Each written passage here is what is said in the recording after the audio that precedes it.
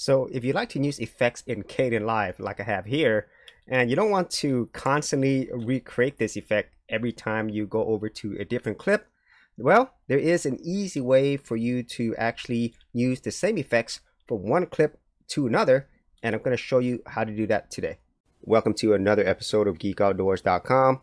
On this channel, you'll learn how to be creative, and I'll teach you the tools you need to create, so be sure to hit the like and subscribe button to help the channel create more content like this. Okay, so on today's Kdenlive tutorial, I'm going to show you how you can easily take effects from one clip and then put it in another. And this is something that I did not even know existed when I first started using Kdenlive, even though it's really simple. And so let me show you what I mean. So this clip right here, I don't have any effects. So if you want to know where your effects are, this is your project bin you could go here to your effects tab and then here's all the effects that are available to you. And if you are using an effect for a particular clip it will show up here under effects whenever you choose a clip. And so what I've done here is on this intro clip I don't have any effect but once I get to this one there is effect. There is a zoom effect. So if I click on this second clip you'll notice that there is a transform effect which is keyframeable and then whenever I move over to this other clip I have another effect and this one is a colorize effect. So if you come here and you could just either type it in to search for it or you could just open up each one of these and expand it. So this is the colorize effect. And then in terms of the transform effect it's right down here. So I have the transform effect. There's a lot of effects available. So as you can see here between these two clips there are different effects. And at the same time I have another clip here where I'm using more keyframes to add some motion. As you can see here it zooms in so if you're wondering, how do you actually take these effects from one clip to another?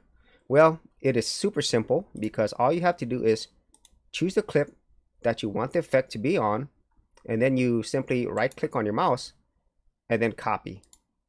And then all you have to do is go to another clip that you want the same effect. So in this case, I want this whole zoom effect. So all I have to do is just paste it right here, paste effects. And now this has the exact same effects as I had in the original clip that I copied this from. So it has all the same values. And this makes it super simple, especially if you want to apply the same effects to multiple clips. Like a lot of people would like to use this whole zoom in feature when they're going in from one clip to another. Like say, for example, this is zoomed out, regular view, and then it goes zoom in. So a lot of people would like to do that uh, in their YouTube videos. And so this is a super easy way to do it. And as I've shown you here, you can apply a variety of different effects. And at the same time, if you happen to copy an effect, you can adjust it just like you would any other effects. So say, for example, I had this one here, and I'm going to go ahead and remove the effect on this one because that's the same thing. Go ahead delete this effect. And I'm going to go ahead and copy and paste this. So we'll go ahead and copy this. Then we'll go to the second clip and we'll paste effects. And here uh, you could adjust whatever values you want. So now I practically have the same effect.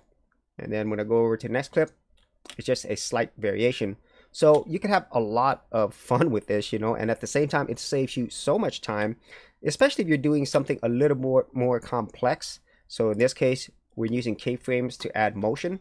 So in this case, I started off zoomed out at the beginning, right here, and then it's zooming in. You can see this right here. And then it zooms back out. And you could also, you know, zoom out to see how this looks like. So we're watching this, it zooms in, or actually zooms out, then it zooms back in. And I've done the same thing here with this clip. I just copy and pasted the same exact effect with all the same values that I had in the original clip. For fast website hosting and top-notch service and features, Check out SiteGround, the preferred service news at geekoutdoors.com. For more information, check out the affiliate link in the description area below. And now I want to show you the most powerful feature available with effects beyond just the copy and paste. And that is the ability to actually save these effects as a custom effect template pretty much. And so all you have to do is choose the effect that you want. So in this case, I like this zoom in effect. I could use this in many different projects. And all I have to do is go up here to this three line symbol. And then when I click it, you're going to see these options to save effect, save effect stack, and create region. And all I'm going to do is save effect and now you can name it whatever you want so I'm just going to call it zoom effect you can put in some comments if you want so now if I go up here to my effects tab and I go here to this star right here there's show all custom effects. So now under custom you see your new effect that you just created. And let's just say I wanted to add it to this clip. I would just add it like any other effect. Just double click on it. And now I have the exact same zoom effect that I had on these other clips. So that's a really powerful way for you to use effects that you enjoy throughout multiple projects. And at the same time, if you just wanted to copy and paste some effects that you had for that particular project, you can use the copy and paste feature. And so that is it on this video on how to quickly not only copy and paste effects, but also save it as templates. And so if you actually had any thoughts on this or any other ways in which you do this, be sure to leave that in the comments area below. And if you did want to see more of my Kdenlive tutorials and tips, I do have an entire playlist. I'll leave that in the description as well. And if you're a creative geek like me, and you want to get exclusive access to more content that I don't put out here publicly on my YouTube channel, then join my Gold Content Creators Group, where you're going to get content like this and more for all the creative geeks out there. And the best part is, all of this is free. Simply head over to the link below, check out my page, and sign up for my Gold Content Creators Group. And as always, if you did get value out of these videos, be sure to share, like, and subscribe.